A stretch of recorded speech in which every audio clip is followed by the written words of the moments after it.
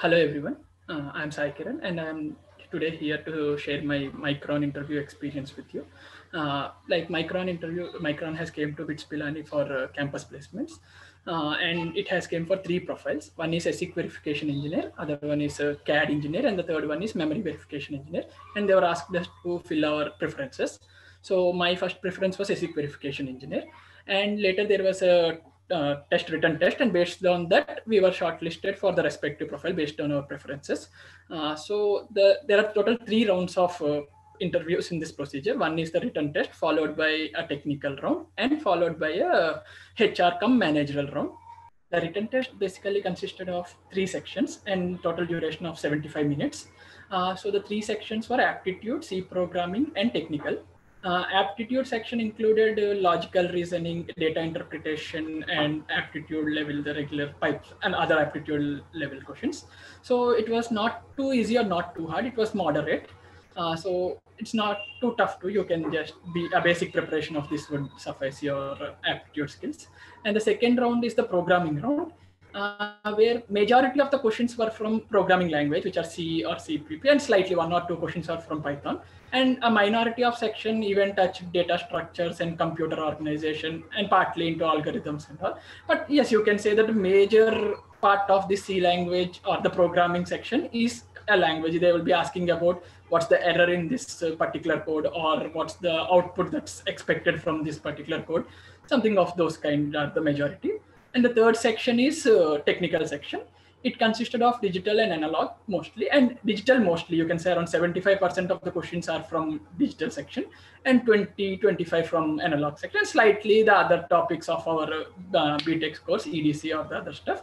But yes the gate level preparation if you have strong basics on your gate level preparation that can do that. And time was okay you need to slightly check on the time the questions the level of the questions were inapt with the time that they are given if you just spend time on one particular question, then that might hamper the next sections of that. So one best thing is if you can't attempt one question or if something is not striking to you regarding that question, it's better you move to the next part, next question in respective sections.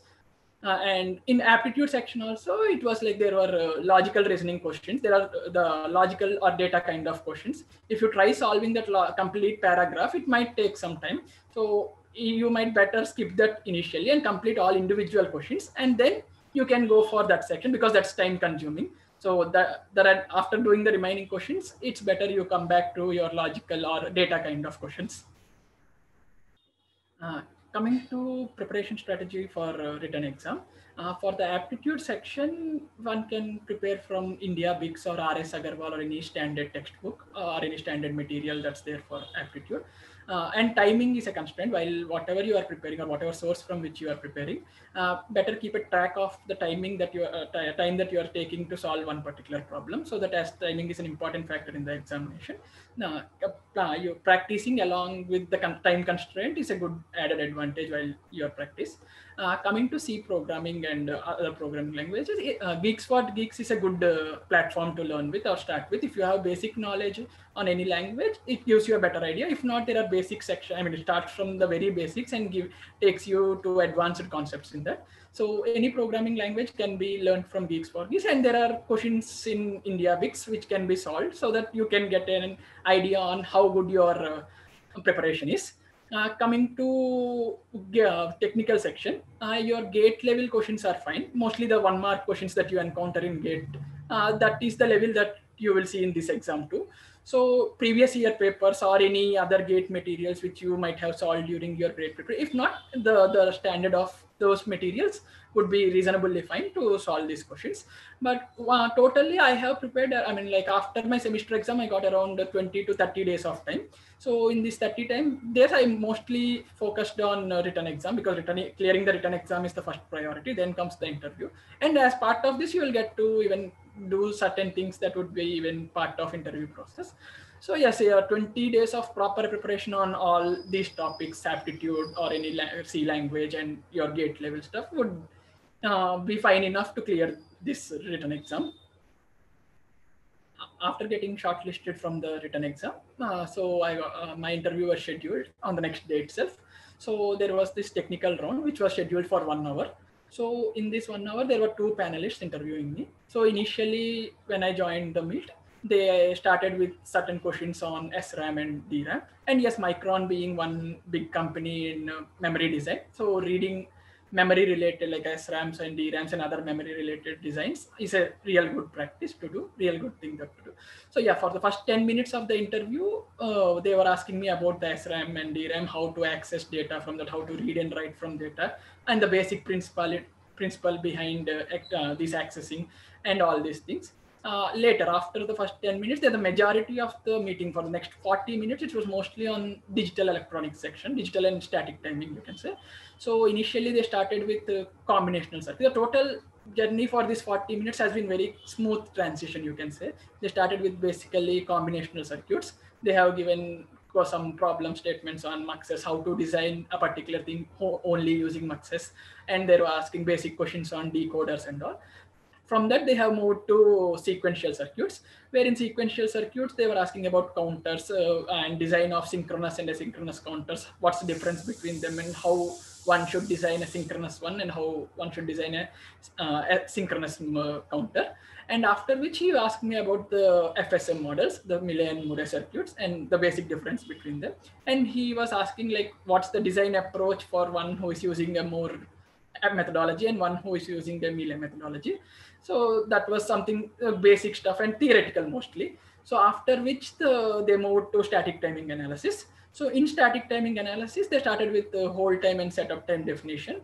And then they were just tweaking the same diagram slightly here and there, asking how this particular change uh, causes an impact on hold violation or how this impacts the setup time and what are the methods that one should do in order to change uh, uh, rectify these violations and they were even posing questions like what happens what is disadvantage of this particular approach? Like if i was saying a method that uh, rectifies the timing violation then what's the disadvantage? Or what's the downside of that one? And if i gave a second method and what's the downside? Of what's the pros and cons of all the methods that uh, can be used to rectify a design method?